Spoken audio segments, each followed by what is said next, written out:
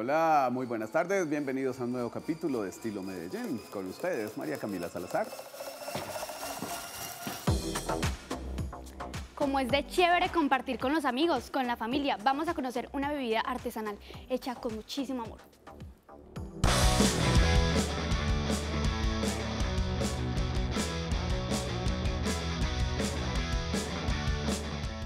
soy Mateo Escobar, soy el director de Mercado de Experiencias y uno de los creadores de esta marca, donde van a encontrar diferentes tipos de, digamos, de espacios decorados con, eh, digamos, el estilo steampunk y parte de industrial.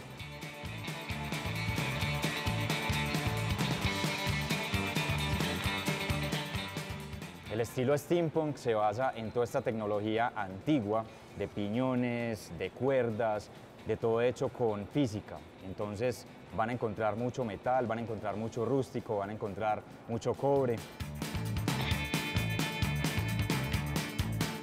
Esto aquí tenemos principalmente la barra, está digamos eh, inspirada en una estación de tren francesa eh, en París de los 60, 70.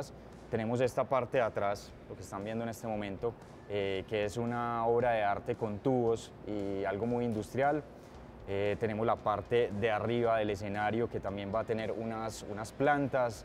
Tenemos murales de diferentes estilos de artistas de acá de Medellín, ya que apoyamos mucho el artista local. Además de cervecería, también somos restaurante, por lo cual van a poder venir las familias. Eh, aceptamos mascotas también, pueden venir con su amigo peludo. Nuestro estilo es el arte del maridaje. Ese es nuestro estilo. Pues es increíble llegar a un lugar, tener un ambiente como es el diseño interior forma parte fundamental y pues evidentemente las bebidas también. Es cuestión de estilo como el estilo de Medellín, ¿no? Yo soy Camilo Baena y soy estilo Medellín. Yo soy estilo Medellín. Aquí en Pavia somos estilo Medellín.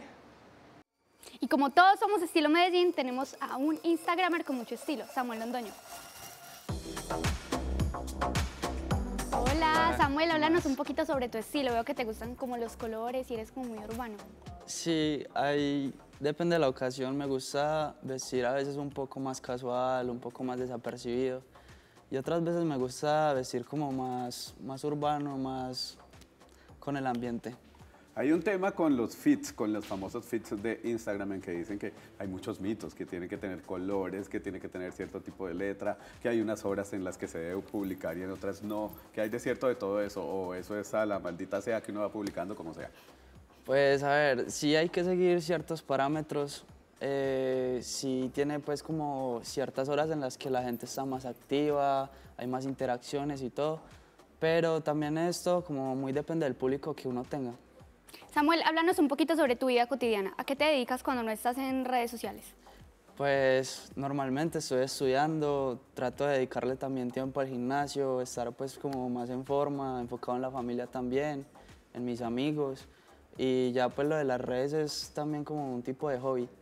Pero hay muchas interacciones entre redes sociales, ya dicen pues que en las reuniones básicamente se alejan las personas y se dedican a encontrarse con los que tienen precisamente virtualmente. Sí, es muy cierto. Muchas veces, eh, más que todo en pandemia, me dediqué como a conocer mucha gente por Instagram, por TikTok, por estos medios. Eh, comencé también a, a, generar muchos lazos con personas que ahora son muy cercanas a mí. Ahora yo quiero saber, ¿en qué se enfoca tu contenido? ¿Cómo lo seleccionas?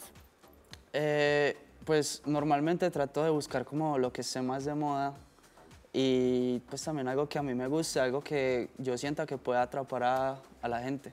Samuel, muchísimas gracias. Seguiremos pendientes de todo tu contenido. Dale, gracias. Por ejemplo, yo estaba notando antes de despedirnos, quiero verle estos, estos areticos que tiene. ¿Cuántas perforaciones tiene?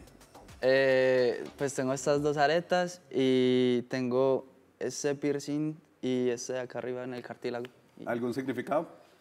No, simplemente es como porque me gusta y quise dar como un toque diferente. Okay. Samuel, tienes mucho estilo como toda la gente que nos visita. Muchas gracias. Hasta aquí Estilo Medellín. Sigan conectados con toda la programación de Telemedellín. Aquí te ves y recuerden que la moda pasa, pero el estilo permanece.